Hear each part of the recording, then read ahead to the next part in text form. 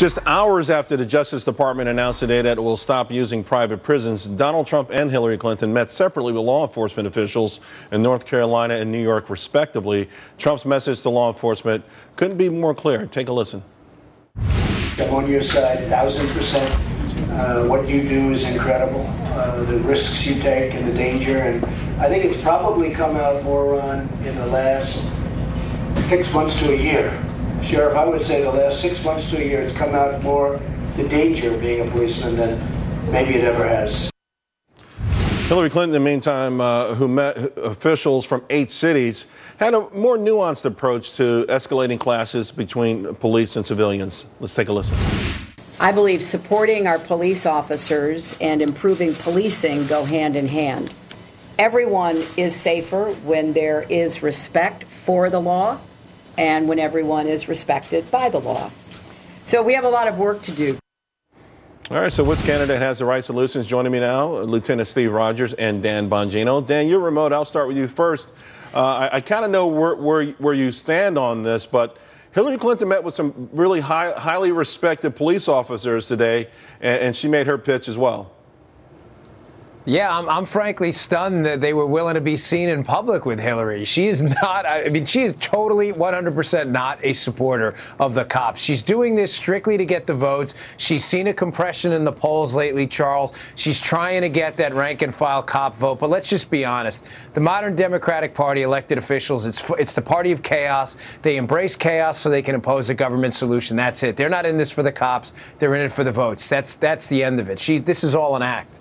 Steve, why why did some of these big uh, big time guys uh, spend time with Hillary today? Well, I'll tell you why Bill Bratton spent time with her. He just got hired by a firm with connections to her and her family. That's number one. And Bill Bratton, who I dearly respected up until this happened, he spent a lifetime putting people connected to criminal enterprises behind bars. And he may have been sitting at a table today with someone, in my view, who may have created the largest criminal enterprise in the history of this country, and that is Hillary Rodham Clinton. That's why he was there. What's the what's the criminal enterprise?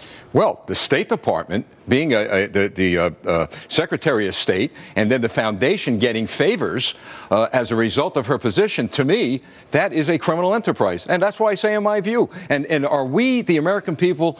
Do they think we're so stupid, Charles, that we can't see what's going on here? And look, Bill Bratton served this country and he served the city of New York very, very well.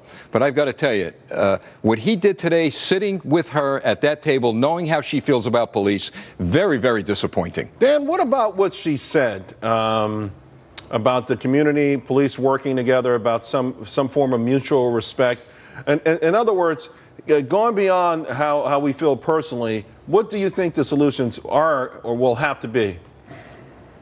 Yeah, I mean, there's a number of solutions. I think we need to change the way we, we hire in policing right now. We should take the military model where you can have experienced police officers who can come in at the management level and don't necessarily have to work their way up the ranks. But she's just giving sound bites, Charles. That's the problem. Hey, we all need to work together. I mean, what are we going to do next? Like roast marshmallows and make s'mores? You notice she never says anything of substance ever. Again, it just goes back to my point that this to her is all about votes. It's not about substance at all. It's all all an act. I was around this woman for a long time as an agent. This is all an act, I promise you. Uh, Steve, Steve, let me ask you the same thing, though. Um, because you and I have talked about this, and you like the idea of community policing and those yes. kind of things. Is is it possible because the Democrats so often want to have their cake and eat it too. In other words, they overlook uh, a lot of the root causes of crime. Some people would say their policies end up creating those root causes, that they could ever be in a position to make things better. Charles, community policing is the answer to many of the problems we have in the cities. Donald Trump, for example, he has promoted community policing, and, yet he said something very significant. The Democrats have promised so much to so many people and delivered so little. This is why we're in the state we are in today. We need to come together as Democrats and Republicans, and we need to support our police, like he says, and support people in the community. And you do that by supporting community policing methodologies. And also, Danny talked about the economic conditions or connections to crime. And of course, we know uh, you look at a city like Baltimore, the, the big disparity uh, between incomes, and a lot of, a lot of. Right. Uh, I mean, you're going to naturally have this kind of situation. Right. The biggest problem in America's inner cities where this tension between the cops and the community exists isn't the cops, it's the Democrats. I mean, that's just the facts, Charles. I mean, there's nearly 100% correlation between monopolistic Democratic rule in largely black inner cities and poverty and tension Yeah. between the police and the community. That's just the All right, facts. guys, let's leave it there. Great stuff. I appreciate it at home. We appreciate you watching every single night.